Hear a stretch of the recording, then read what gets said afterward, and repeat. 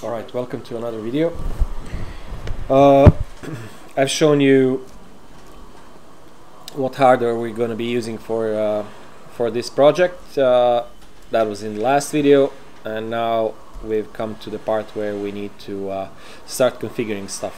Now on that uh, on that machine that I've shown you in the last video I've installed Proxmox and I installed two uh, virtual machines on it each with uh, Ubuntu Server 2204 uh, so yeah one of those uh, machines will be used for spraying so-called spraying uh, and the other one will actually be used as uh, uh, as a, a, node in in our Kubernetes cluster. Uh, we're in this video we're going to be covering how to uh, spray the Kubernetes onto your cluster. Uh, and yeah, we're to be following the official documentation for that.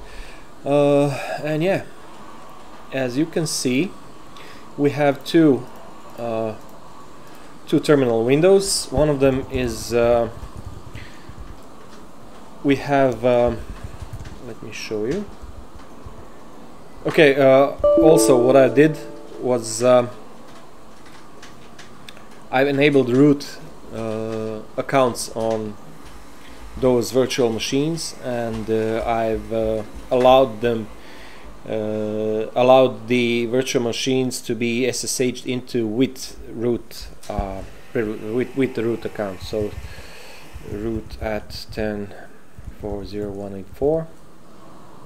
Okay, so that's that's the the one that we're going to be using for spraying Kubernetes onto our cluster. And the other one is SSH root at 10.4.0.200. So this one actually has uh, a fixed IP address because we want it to remain the same. Uh, the first one doesn't really matter uh, because we're only be gonna we're only going to be using this machine, this virtual machine, for the installation of Kubernetes, and that's it.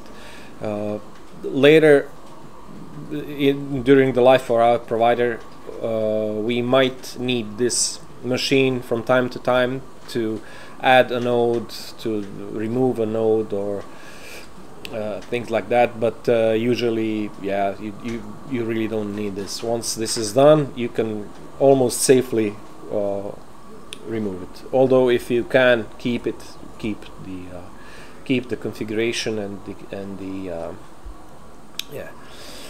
So let's. Uh,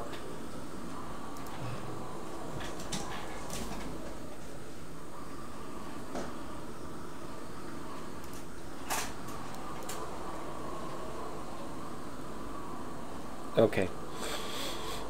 So first things first. Um, what we need is to clone the Kubernetes. Uh, we need to clone the Kubernetes project. So yeah, we're already in the uh, home directory of the root user, and uh, we're gonna clone the. Uh, I'm just copying and pasting the commands directly from the documentation. So you can do that as well. Uh, okay, I already did this, so let me uh, remove Kubi. Okay.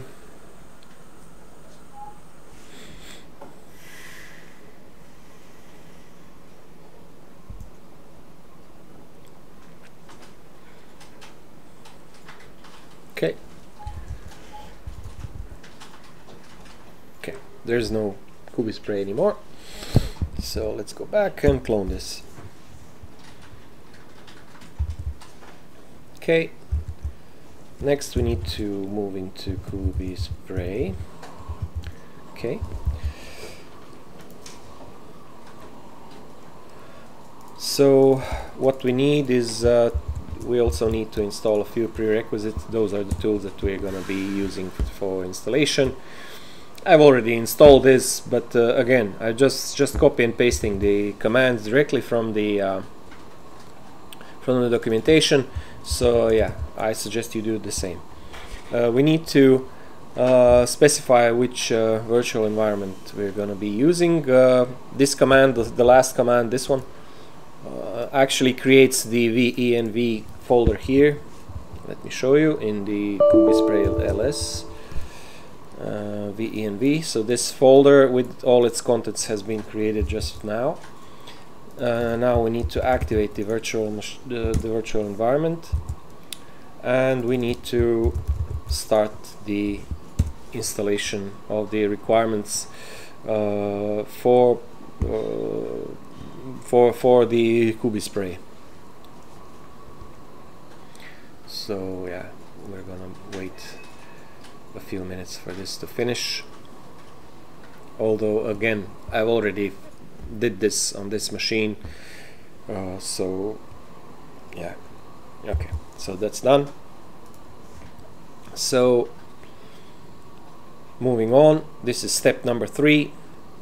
We need to create the SSH uh, key pairs on the Kubespray uh, machine. So this machine needs to have uh, direct root access, SSH access to all of your nodes that you plan on using for this project. We're on we're only using a single node, uh, and that's the this one ping 10.4.0 not 20 but 200 okay one more time 200 here we go. So it's reachable and we can SSH directly 10.4.0 to 200 and we're in. So I again I've already done this. Uh, however it, it's really simple to actually do this. It's uh, just uh, again follow the uh, follow the instructions directly in the documentation.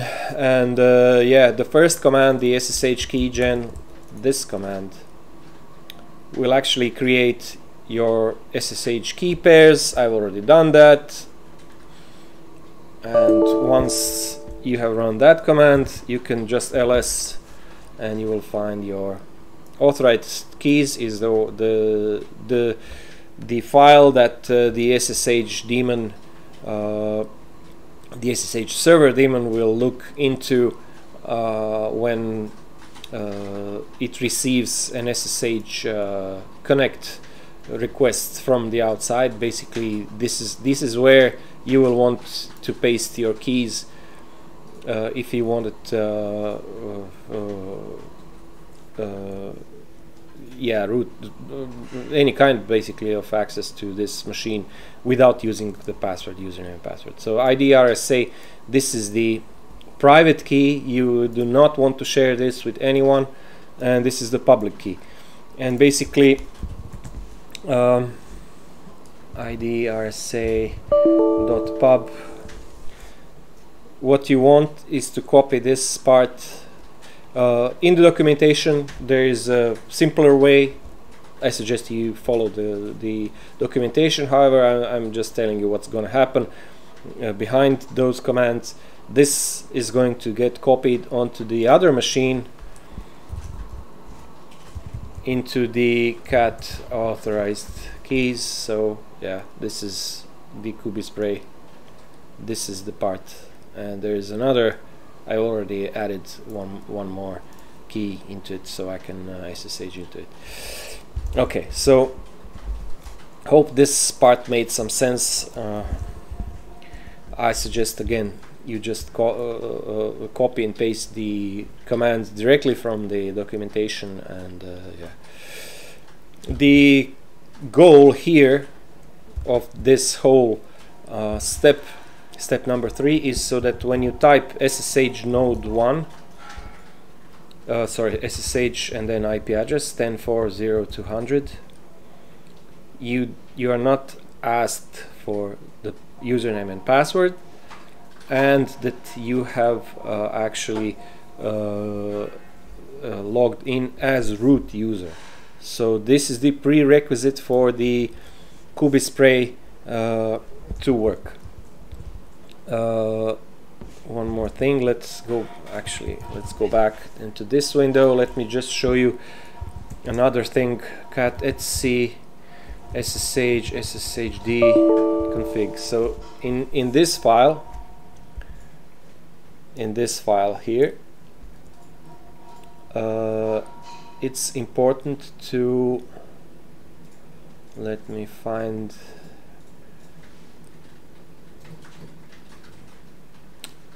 here permit root login. I've added yes. This is usually this line is usually commented out. So basically uh, you're not allowed to uh, by default on, on any Ubuntu install you're not allowed to SSH into the machine uh, with the root account. So you have to uncomment this line and uh, you can either put here yes or uh, no password. Leave uh, that by default it's no password. So yeah. And then once you've changed this you also need to uh, sudo pa uh, sudo password root so this command will uh, enable the root account because it's by default it's disabled on all Ubuntu installs uh, and once you've done that you just need to system system control or kettle uh, restart SSHD. So yeah, so that all these settings actually take uh, effect. So back to the Kubespray, we need to create uh, the Ansible inventory file. So uh, again, copy and paste the commands from the documentation. Uh, let's start cd into Kubespray and copy the sample uh, inventory file. And then we need to replace the IP addresses so we need to declare the IP addresses. Uh, one moment. Okay. Copy and paste again. And I only have a single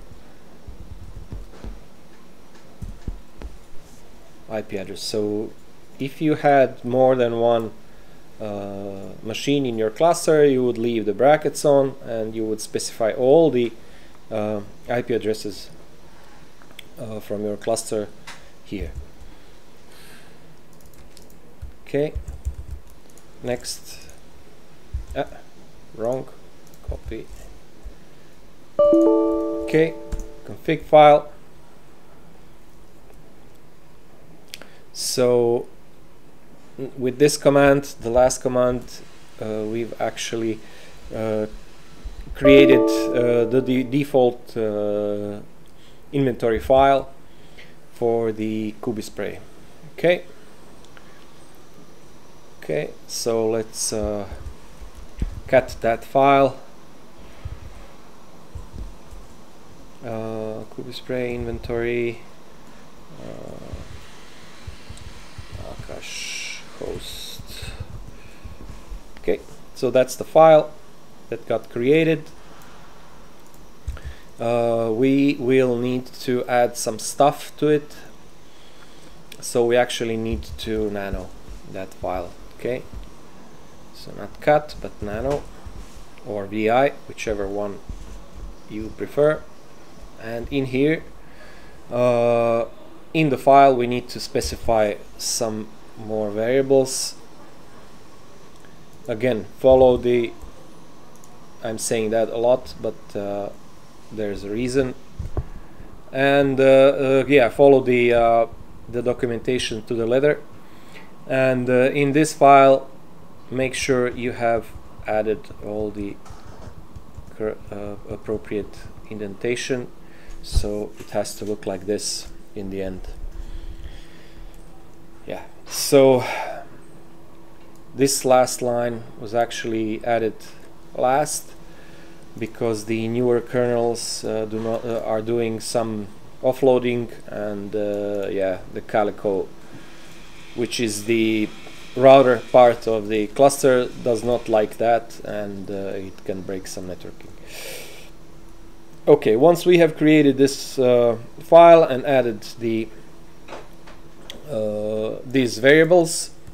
We need to save it exit and continue uh, continue following the documentation. Step 5 we need to go to the okay again copy paste from the documentation and nano k8, k8s cluster YAML and in this file we need to make sure that the container so in this file we need to make sure that the container D is the uh, uh, the correct uh, container manager yeah so we're searching for a container and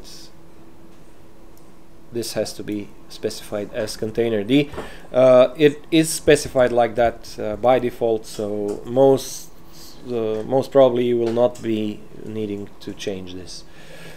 Next, step six. Go back to the Kubespray and copy and paste the Ansible playbook uh, command and wait for as long as it takes for it to finish.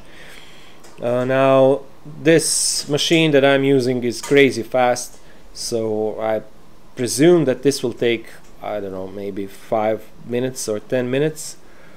Uh, basically what it's doing is it's quote unquote spraying the Kubernetes installation to all of the uh, all of the nodes that we specified in the uh, uh, in the uh, yeah when we were creating the the inventory file and uh, yeah it's it's just gonna be copying all everything there and making sure that they can all talk to each other.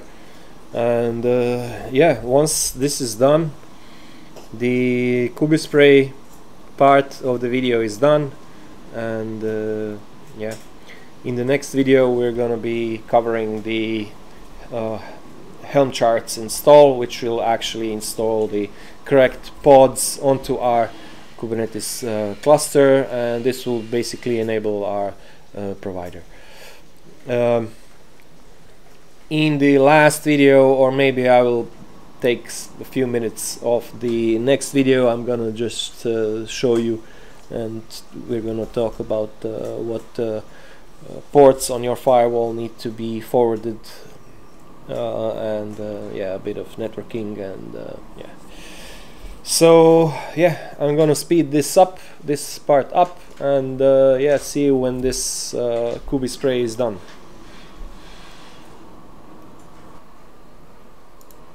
Alright so this is done. Let's uh,